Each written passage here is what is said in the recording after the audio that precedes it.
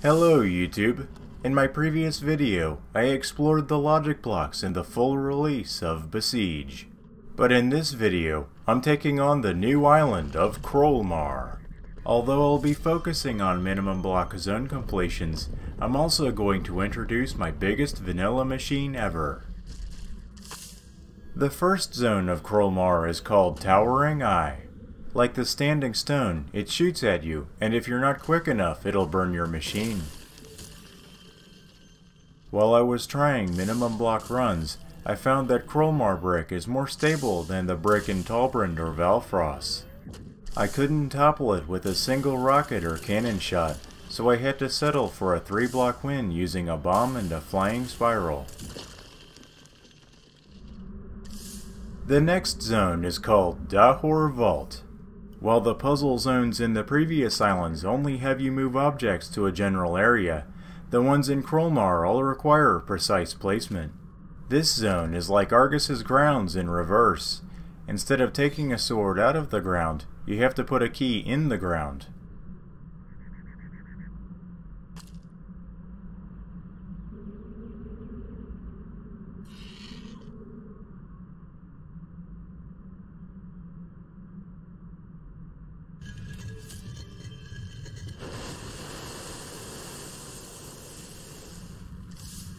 This zone is the Forgotten Sanctum. The goal here is to use the laser and mirror to melt the pot of gold. My minimal machine is too light to simply pick up the mirror, so I had to get creative. I set the grabber to grab static so I can hold the ground, and used the wheels to flip the mirror up. While holding the mirror vertical, I can aim it as necessary.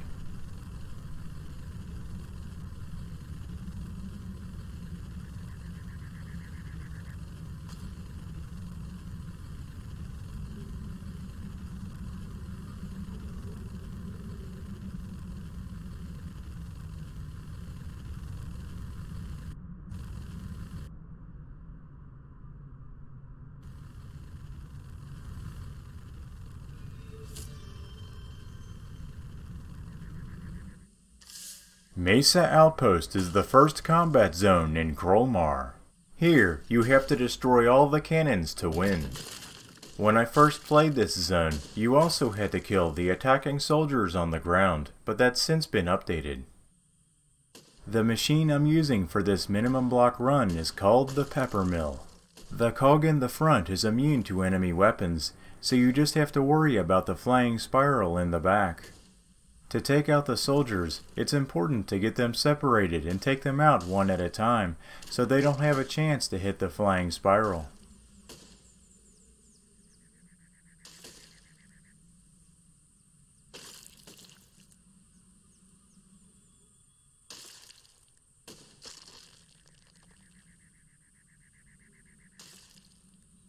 Getting the final cannon takes a lot of patience until you get this jump just right.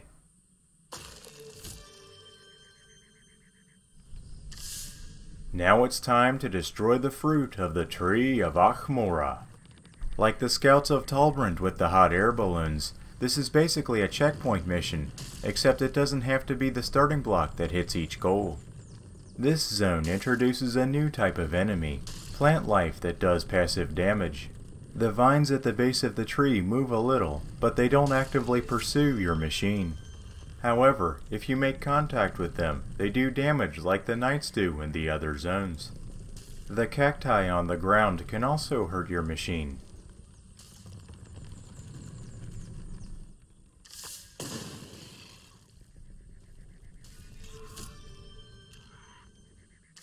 Ambush was my most challenging minimum block run in Krolmar. The ground level enemies hit hard enough to break any machine, and pieces of it can fly away fast enough to glitch through the environment. This mechanic seems to work via an explosion between the enemy and the machine rather than an actual hit, so with strategy and luck, it can be exploited. Then there are the enemies at the top, which attack with thrown weapons. At the start of the sim, one of them always slides down and lands at ground level. This seems like something the devs didn't intend, and it also makes it harder to reach that enemy without getting hit. I used a modification of my World on a String machine for minimum block flight. Putting the flying spiral on a grabber protects it from the enemy's weapons, while the vacuum provides surprisingly powerful offense. While I was working on this zone, I noticed a glitch with the vacuum. If the vacuum is acting on an object that disappears, it can no longer attract anything else. So I had to be extra careful around the tents, whose fragments disappear after they're destroyed. This glitch can also be reproduced with a grenade or a rocket.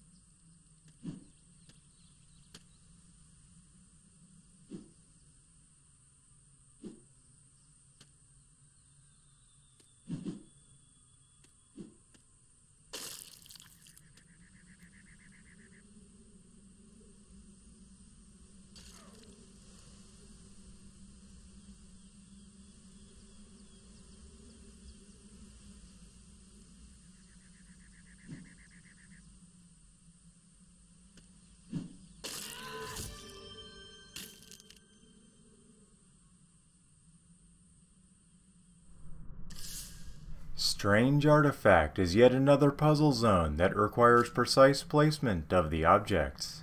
Something else I noticed about this zone is that while the pieces appear symmetrical, you won't get credit if you put them in backwards. You can put them in at any rotation though. So I guess the trigger to make sure you put the piece in deep enough is on one face and not the other.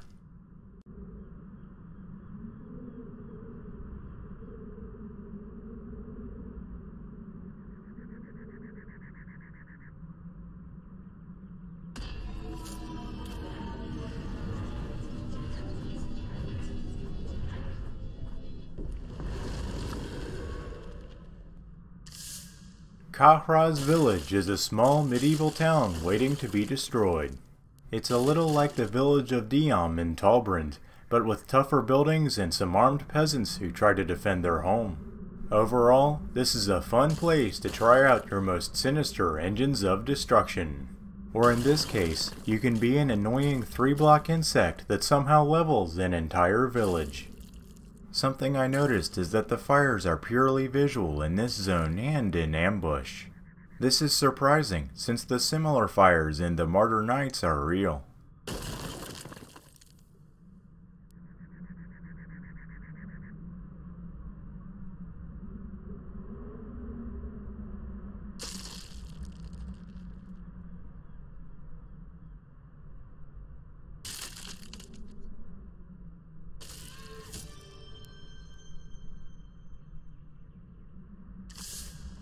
Stock Tower is the final puzzle zone in Krolmar. Unlike the previous ones, this one doesn't require precision, but you do have to move a tremendously heavy boulder. To give you an idea of its weight, even the Drag God tool struggles to lift it. I was curious about the exact weight of the boulder, so I ran a couple tests. Apparently, it's equivalent to about 18.7 weight in a sandbox object. Or 350 in a ballast block. For comparison, I did a similar test with the iron ore and found it to be 2.83 sandbox weight, or 8 ballast. I noticed that the ratios don't match up. The boulder is 6.6 times the iron ore in sandbox weight, but 43.75 times the iron ore in ballast weight. So I set up a balance to compare one heavy ballast to two with half the weight number. As expected, they weighed the same. Then I compared one regular iron ore to two with half the weight number. This time, the single object was significantly heavier. So I'm thinking that the sandbox weight numbers are logarithmic, while the ballast weights are linear. Anyway, back to the playthrough. Like the rope and pulley I used earlier, the steering hinge seems to move with unlimited force, so it can be used for an elegant minimum block solution for this zone.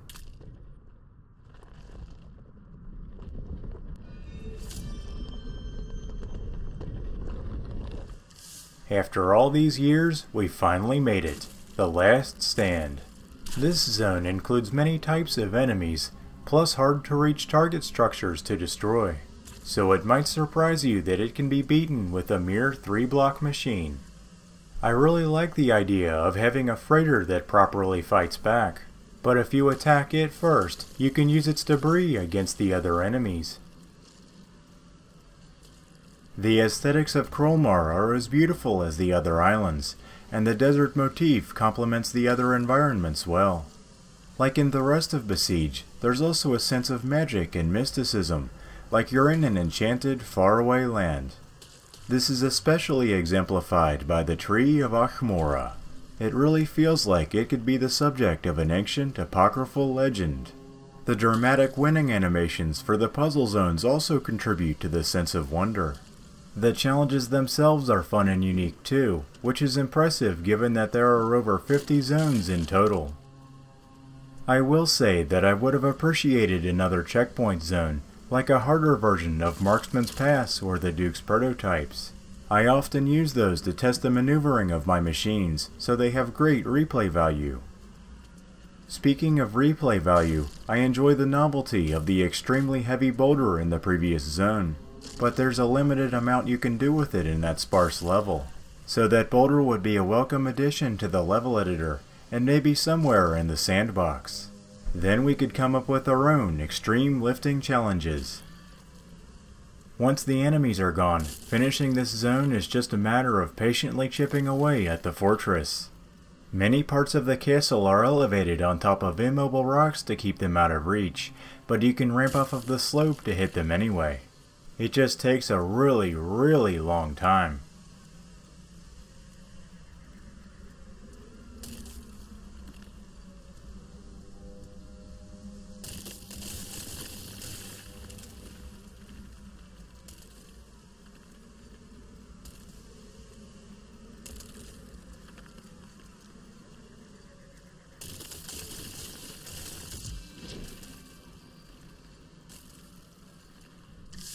Before I end this video, I want to revisit the penultimate zone and give you guys a new machine. The Atlas's challenge achievement is for lifting this boulder 10 units off the ground, although I strangely got it just for rolling the stone. So I built a machine just to earn that achievement for real. I proudly present Boulder Dash. This super-powered cargo blimp includes two sets of controls, one for smooth, precise maneuvering, and the other for maximum lift and rotational torques needed for controlling the enormous weight. Not only can Boulder Dash lift the boulder, it can maintain controlled flight with it. Maneuvering well enough to center the load and having enough power weren't the only challenges though.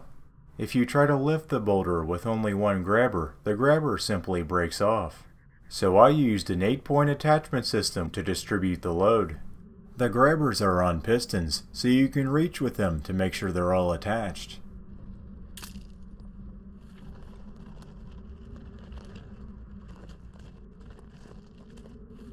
Surprisingly, this vanilla machine moves the enormous mass more easily than the Drag God tool. One thing to note is, the flying spirals for tilting are also used for upward thrust. So while making a major angle correction, you need to stop applying lift. I'm pretty sure there's a rule that you can't build a dirigible this big without including plenty of bombs. So this buoyant behemoth comes armed with 10 bombs, enough to level any combat zone from a safe distance.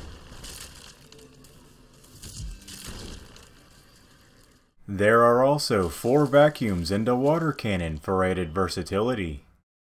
In fact, as I experimented with this machine, I found that it can surprisingly beat every zone in the game. So I'm going to upload a separate video running through all 54 zones of Besiege. In the meantime, you can try out Boulder Dash at the Steam Workshop, link below. This is Displayter's aerial sandbox map, which is great for testing maneuverability, especially for large aircraft. Here, I'm using it to demonstrate using the high power controls to traverse a map quickly. Once you reach the general area you want, you can then use the steady controls for slow precision.